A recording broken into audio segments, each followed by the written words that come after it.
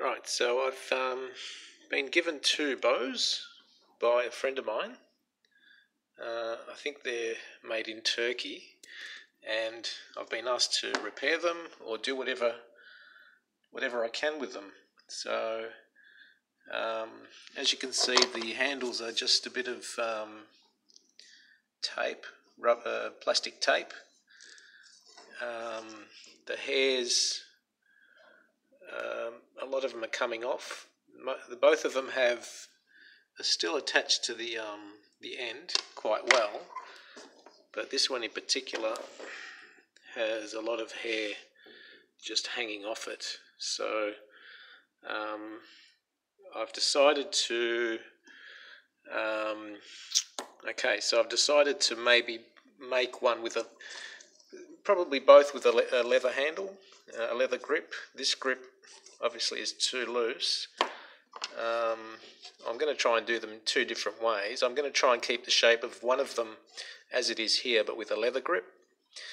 Uh, but both of them, I think, if you once you tense it up, this one's probably not too bad in that you can play the instrument.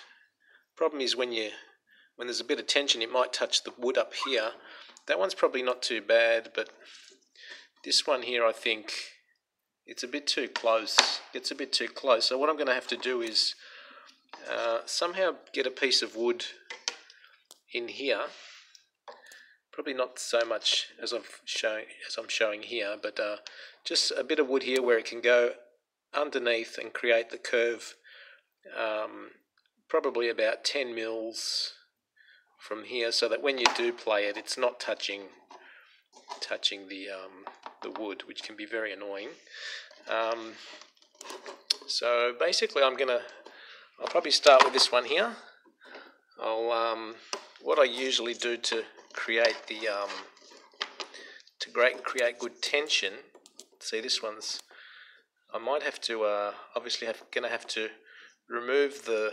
I'm gonna keep this end fixed because he's got it glued here nice and tightly.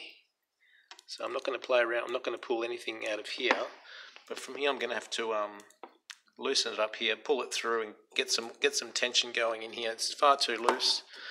And what I usually make with my other, my other bows is a bit of piece of pine uh, like this. And what I do is, and I will show, show you later, this one here is for another bow that I'm making at the moment. Um, so what I do, see this one's a bit loose as well um, what you do is you put that in here uh, and you ten tension it up. I'll be tying that over onto the strings and once you ten tension that up about there that's really nice and tight there a bit like a violin bow not too tight but it's nice and tight so that you don't have to put too much strain on your fingers holding the the strings down to get tension you're just basically moving back and forward, not having to worry about your, your two or three fingers over here.